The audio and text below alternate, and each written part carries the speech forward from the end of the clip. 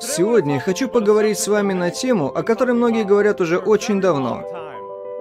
И эта тема называется «Успех». Успех для всех значит по-разному. Успех может означать для меня то, что будет отличаться от вашего понятия. И то, что это может означать для вас, отличается от того, что это значит для ребенка из школы, который просто пытается получить пятерку за свое домашнее задание. Или, может быть, домохозяйки, которая пыталась уложить своих пятерых детей спать к 9 часам вечера. Или, может быть, даже руководителю корпорации, который работает более 20 лет и хочет стать генеральным директором своей организации. Речь идет о том, чтобы быть тем, кем ты хочешь быть, делать то, что ты хочешь делать, идти туда, куда ты хочешь. Потому что когда дело доходит до твоей жизни, ты становишься боссом, и у тебя есть выбор. На самом деле, ты есть тот, кто ты есть сегодня.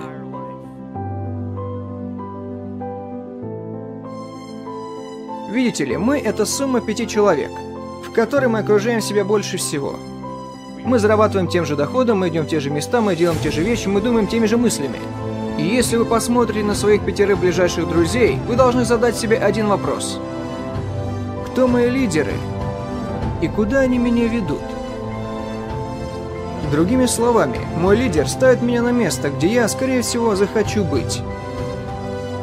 Если ответа на этот вопрос нет, то вам нужны новые лидеры. Вам нужны люди, которые вдохновляют, которые могут помочь вам подняться до целей, которые выходят за рамки ваших возможностей и вашего мышления.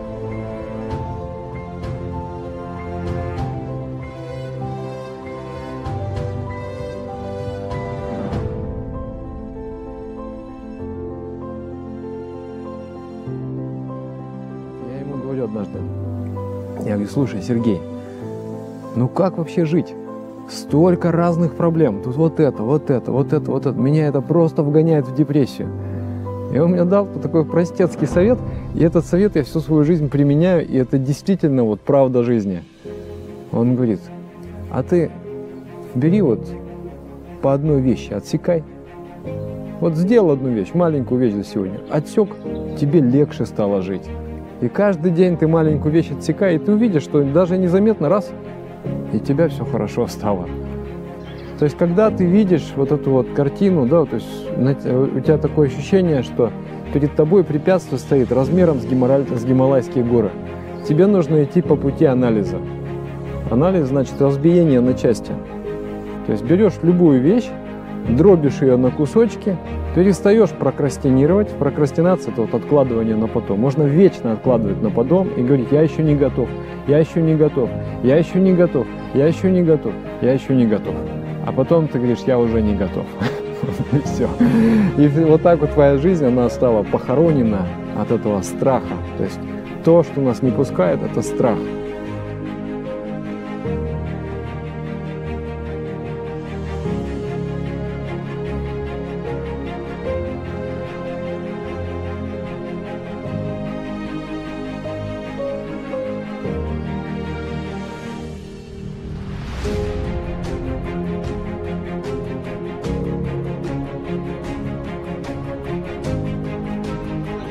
Запросто пишешь по 20 страниц в день, можно подумать, ну ладно, попробую 40.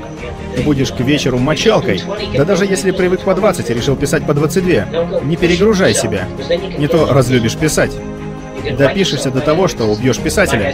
Как я тут говорил некоторым, вот рисуешь ты океан, и такой, какой красивый у меня вышел океан. Добавлю-ка синего и желтого, можно загубить картину, у тебя получится лимон. Некоторые так дорисовывают, что портят картину.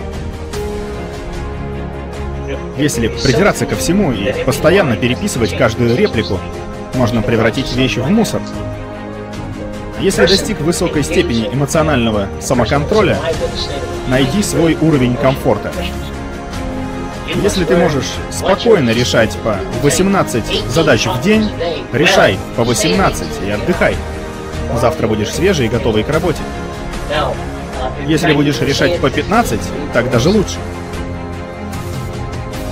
Иногда в начале работы у нас много сил. Мы думаем, ну сегодня мой день, когда много сил. И мы хватаемся за колоссальную задачу. Сил-то у нас много. и истощаем себя, потому что из-за решения, принятого утром, когда было много сил, мы взяли на себя больше, чем можем вынести.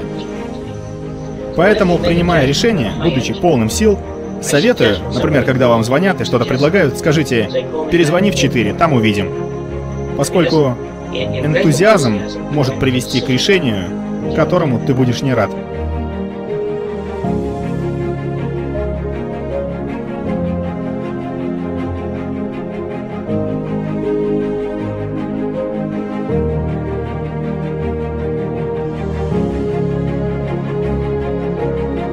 Я считаю, что тусклый карандаш лучше, чем острый ум. И чтобы произвести впечатление на ваше подсознание, вы должны записывать свои цели, чтобы мы могли твердо придерживаться того, кем вы являетесь. Этот метод я преподаю во всем мире. Это называется 20 идей одного метода. По сути, вы выбираете одну всеобъемлющую цель, которую вы хотели бы достичь, и перечисляете 20 идей, которые соответствуют этой конкретной цели. Например, вы хотели бы стать лучшим оратором. Что вы можете сделать?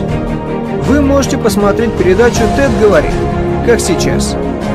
Вы могли бы практиковать свою речь, вы можете посмотреть в зеркало, чтобы бросить вызов себе. Вы можете читать словарь каждый день. Есть так много вещей, которые вы можете сделать. Но неужели я могу придумать 20 идей? И ответ «да». Я могу придумать сотни, если захочу. Представьте себе, если бы вы сделали это в каждой сфере вашей жизни, для продвижения по службе, для вашей семьи, и вы написали свои цели на каждый день. Тогда сможете достичь стольких вещей в вашей жизни. Вы видите, что у нас есть все, что нам нужно для того, чтобы добиться успеха, но мы должны взять то, что может дать нам больше, например, современный автомобиль, в котором мы катаемся, брендовую одежду, которую мы носим, более вкусную пищу, которую мы едим, и более понимающих и знающих людей, которых мы встречаем. И для этого у нас есть все необходимое, чтобы добиться успеха, но мы должны верить. Когда вы верите в себя, вы можете обнаружить, что все остальные в мире будут верить в вас. И вы также должны мыслить масштабно. Когда вы думаете, вы можете сделать гораздо больше вариантов. И вы выиграете.